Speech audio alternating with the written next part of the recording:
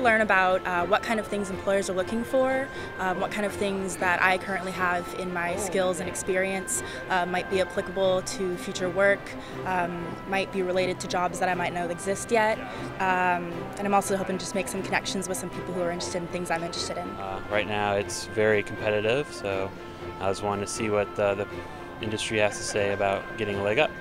I just started graduate school at University of Maryland, and uh, I hope to be uh, uh, exploration or development geologist here in, uh, in the next five years or so.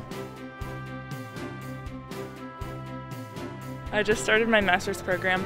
Um, I am on the fence on whether to go into industry or continue my education, and get a PhD. So I'm just here trying to learn a little bit more about industry and figure out if it's what I want to do. I'm a PhD student. I'm about a year and a half away from finishing. So I have a little bit of time, and so I'm just using this as an opportunity to figure out what I want to do, where I want to be, what are the options. Because when you come out of academia, it sometimes seems that everything is narrowing you down towards that academic career path.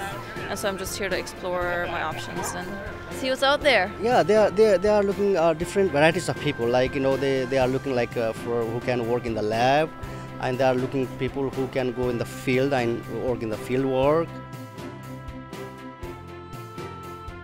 From these practice sessions, I have learned what I need to, how I need to structure myself in terms of masters, what I need to focus on, and maybe expand horizons on because that is the biggest thing that I've learned. I thought I had it set, but it turns out that there is something more to it than just having your own plan. You got to expand and try to become a well rounded individual.